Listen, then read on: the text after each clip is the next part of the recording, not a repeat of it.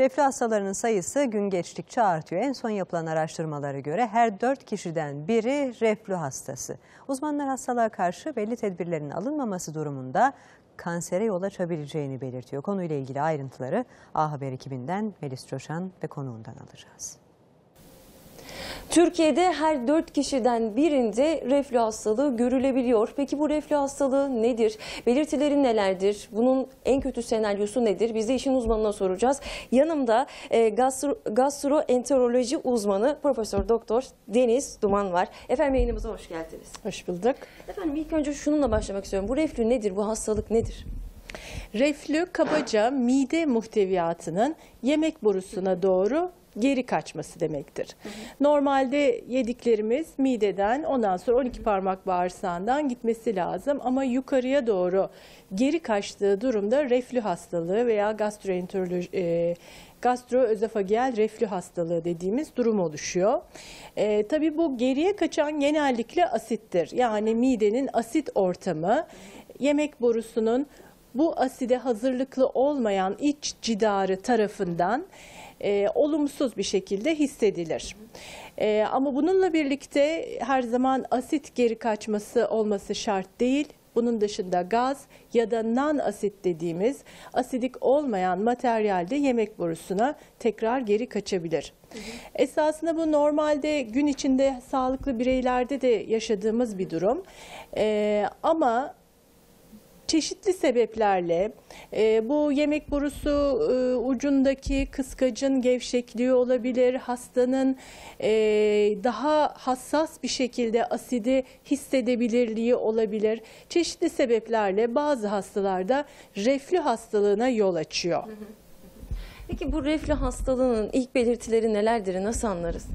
Reflü hastalığının iki tipik belirtisi vardır. Bunlardan bir tanesi göğüs kemiği altında ya da kravat hattı altında yanma olması. Genellikle ağza kadar çıkan bir yanmadır bu. Ve de ağıza ekşi, acı, e, mide muhteviyatının gelmesi.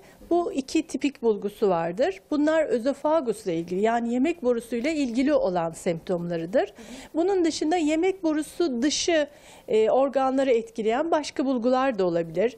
Örneğin inatçı öksürük, ses kısıklığı, sık diş çürümeleri, e, boğazda böyle bir yumak varmış gibi e, dolgunluk hissi bunların e, yemek borusu dışı bulguları Yani- olarak sınır, e, sınıflayabiliriz. Ya zaten bizim direkt midemizde bir yanma olduğu zaman genellikle o küçük tedavilere başvuruyoruz. Evde kendimiz doktora gitmek yerine bunları uyguluyoruz ama bu belirtileri gördüğümüz an değil mi bir uzmana başvurmamız gerekiyor değil mi hocam?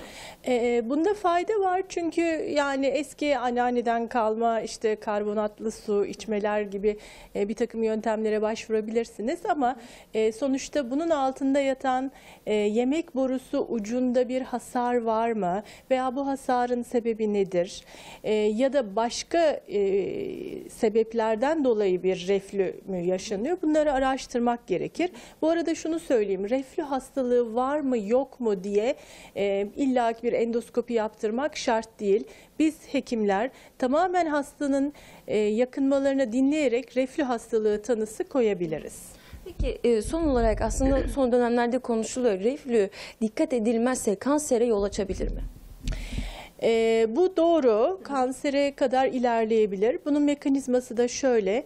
E, reflüye bağlı yemek borusu ucunda demin bahsettiğim tahriş olayı e, tekrarlayan bir şekilde devam ederse bu yemek borusu kanserine sebep olabilir.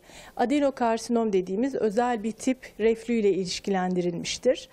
Ee, ama e, kanser dışında başka komplikasyonlar da olabilir. Sürekli asit maruziyeti sonucunda yemek borusunda daralma, e, yutma güçlüğü, e, buna bağlı bulantı, kusma, kilo alamama gibi daha pek çok farklı e, sebebe, farklı nedene e, yol açabilir. Peki çok teşekkürler yayınımıza katıldığınız için. Evet efendim Deniz Hanım'la reflüyü konuştuk. Reflüde nelere dikkat etmemiz gerektiğini, belirtileri nelerdir? Özellikle de kansere yol açabilir mi? İşte bu soruları Deniz Hanım'a sorduk. O da bize cevaplamaya çalıştı diyelim. Sözü tekrar stüdyoya bırakalım.